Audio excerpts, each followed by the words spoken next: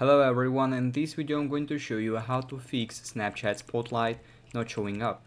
So first of all, you need to go to the Snapchat and the Snapchat uh, Spotlight option is uh, the very right option here in the bottom side of the screen. This is a little triangle and this is a spotlight. As you can see it is working for me right now, but if you can see this, the first uh, thing you should do is you need to go to the settings uh, on your device and then Scroll down here until you will find general settings with a little gear icon.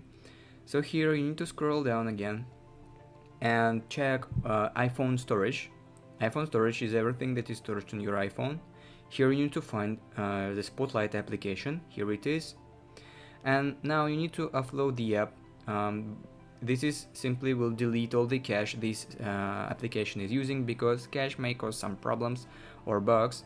So click on upload app and then upload app again to confirm the action and then reinstall it from the same interface. If this didn't work, the next thing you should do is you need to go to the App Store on your device and search for Snapchat.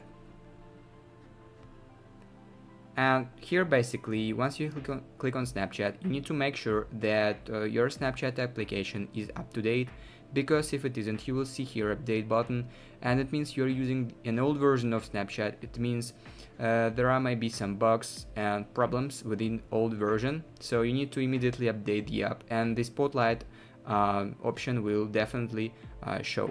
So this is basically how you can fix Snapchat Spotlight not showing up problem. If you found this video useful, leave a like and subscribe to the channel.